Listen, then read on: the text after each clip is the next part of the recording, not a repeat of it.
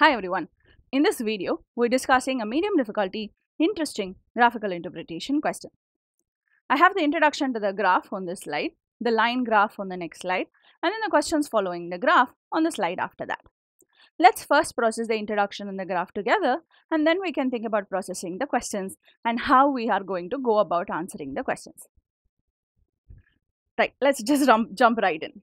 The graph shows the number of heritage sites Heritage sites are physical locations that promote the understanding of the cultural heritage of a region. Okay, so we're quickly realizing something at this stage when we're reading the introduction. We have a term heritage sites and that term has been explained and defined for us within the brackets. You're noticing there are a couple of more brackets coming up. One call you can take at this stage for the sake of better time management is to say, I will come and look at this definition a little later if a need arises when I'm looking through the question. I know the definitions are here. I don't have to necessarily look at it right now.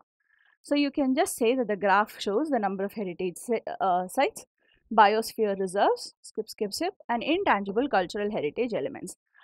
So these are the three things that the graph is showing that are all under the preservation and maintenance control of an international organization.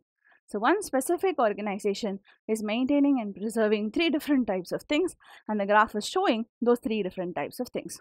Let's look at the graph. We see that there is a line for each of the three different things. So World Heritage Sites are uh, in the blue line, Biosphere Reserves are in the red line and Intangible Cultural Heritage Elements are in the dark blue line. And there are labels that tell you on the x-axis you have five years, the y-axis seems to be just the numbers um, and you have the labels telling you exactly what numbers we are looking at. Straightforward enough graph for us to understand. Right, now let's look at the questions. We have two questions that can be answered independently because they are two different sentences altogether. Graph questions are always fill in the blank questions now in the test, there will be a drop down box here. You will have to click on the drop down box to see the options. But here the options are laid out for you separately because I cannot have a drop down box on a PowerPoint presentation. Now, um, you have four options here for both the questions. You don't have to have four options all the time. You don't have to have the same number of options for the two blanks within a question. You can have anywhere from three to five blanks, three to five answer options, sorry, per blank. All right. Let's read the first statement and let's just process that before we go on to the second one. The year in which the number of heritage sites under the control of the organization, so this is about heritage sites which was our light blue line, saw the greatest percentage year on year growth. So we're talking about heritage sites increasing by the highest number, okay, was blank. Have a quick look at the blanks in the stage so that you better understand how you're supposed to fill the sentence and complete it was the same year, one before, one after, two before. Okay, so in relation to something else, we are seeing whether it is the same year or a different year in which the number of biosphere reserves, so that's the other thing that we're seeing it in relation to, under the control of the organization saw the greatest percentage year on year growth, right? So, which year did heritage sites see the greatest year on year growth? Which year did the biosphere reserves see the greatest year on year growth? And then how do these two years compare to each other? Whether the two same years was one before, one after the other year, and so on and so forth, is what you have to determine based on the answer options. Obviously, then we need to start by figuring out those two years, right? So, greatest percentage for heritage sites and greatest percentage again for biosphere reserves. Always cross verify that. You could be looking at greatest percentage for heritage sites and the least percentage for biosphere reserves for all you know. It doesn't always have to be greatest and greatest or least and least. So, if necessary, you know, just make sure you are on the right track before you start the calculations. Alright, I'm looking at World Heritage Sites, so these are my numbers. This year was a dip, so that's not my answer. 2019 was not the year in which it saw the greatest growth because it has actually dipped from 2018 to 19. Right. 2022 is also not the year in which we saw the greatest growth here, mainly because we can see this sort of steep upward line in these two years and then a little bit of plateauing between 2018 and 19. So that's not going to be the year as well. We can fear that out, which is visually looking at the graph, which means the greatest growth would have happened in 2020 from 2019 or in 2021 from 2020. let's see what we can figure out. It is the greatest percentage growth. So what you are looking at, for example, if you are calculating 2020 year on year growth, what you should be looking at is the numbers for 2020 minus the numbers for the previous year divided by the base year, which would be 2019 again. So World Heritage Site, the growth for 2020 would have been 1135 minus 1080. 1135 minus 1080 is a 55 point. So 55 on 1080 is 2020. Now just because you figured out the fraction, don't immediately grab that calculator and start figuring out the percentage. Let's see if we can again visually figure out which one would have been the greatest percentage growth. In 2021, it went from 11, 1135 to 1185. So that's a 50 point growth over a base year of 1135 because the previous year is the base year right so for 2020 when our growth reached uh, when our number of units reached uh, 1135 heritage sites we had a 55 heritage site growth over the previous year's 1080 and then in 2021 we're having 50 over 1135 now just look at these numbers for a quick second. You don't need a calculator to figure out which one is the greatest percentage. Why? When the numerator is higher and the denominator is lower that's going to be the higher percentage. That's just how fractions and percentages work. So you have a higher increase on a lower base that you started with. So 2020 will be the year in which you had the highest growth rate for World Heritage Sites if you're just starting your preparation and you want to clarify that and you want to ensure that's correct you can input it on your calculator and check it out this will work out to just over 5 percent so maybe like a 5.1 percent.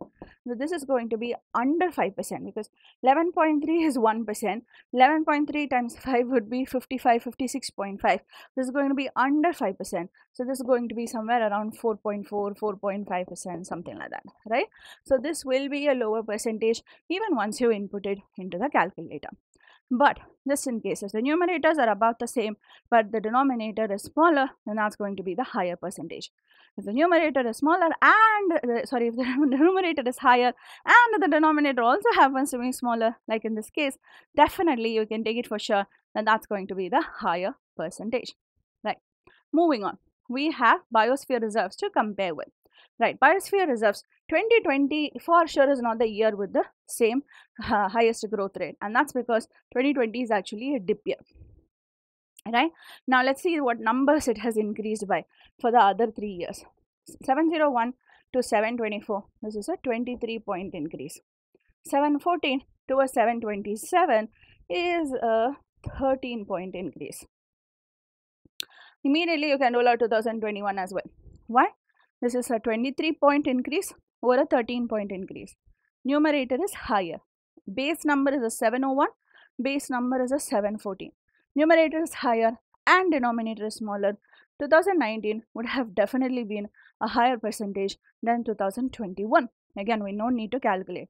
We are looking for the greatest percentage. We already know there's at least one year greater than 2021. So we can rule that out as well. Right? So 727 to 748 is a 21 point increase.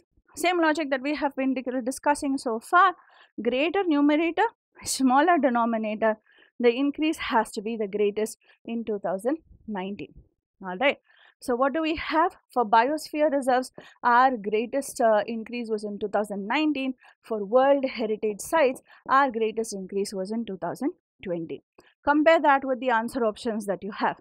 This is year is 2020 this is 2019 so 2020 is one after 2019 right?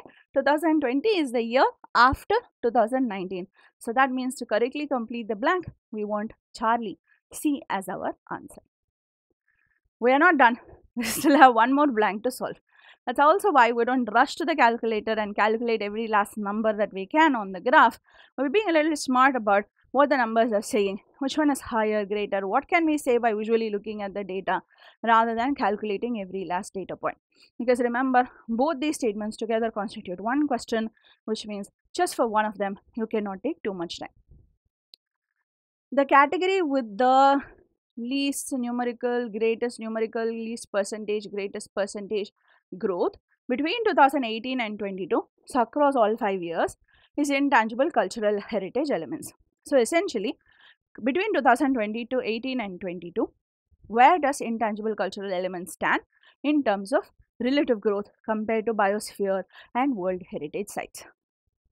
Have a look at the graphic and immediately see something about intangible cultural elements. Steepest upward curve of the lot, right? It has definitely increased significantly. No dips in any year, consistent increase, and it has been the uh, sort of the most steepest line upwards. So it looks like cultural elements actually grew by the largest across these three categories. Just to be safe, let's check that, right? World Heritage Sites went from net net 1100 to 1190 so that is a 90 point increase. Okay? Um, we have biosphere reserves that went from 701 to 748 so 748 minus 701 is a 47 point increase. And then you have the cultural heritage elements which went from 508 to 689 which means it went from uh, it increased by 181 points items right? Okay so in terms of numerical growth cultural elements definitely has the highest growth. But highest numerical is not an option for me. I have least numerical which i can rule out. Second highest numerical which i can rule out as well which means i'm going to be looking at this definitely in terms of percentages for me to arrive at the answer. Now have a look at your options. Greatest percentage versus least percentage. Again the sort of the lesson that we have been reiterating the common theme across today's questions higher the numerator and smaller the denominator then you're looking at a higher percentage. This is a 90 point growth from a base of 1100 this is a 47 point growth from a base of 700 this is the highest numerical growth so highest numerator 181 point growth on the smallest of our denominators which is 508 so 101, 181 over 508 is definitely going to be the highest percentage. So B is your answer for the second question. So there we have it by this logic of, you know, higher numerator over smaller denominator. Without using a calculator necessarily, you can arrive at the answer for both the questions and they are Charlie and Bravo. C and B are your answers.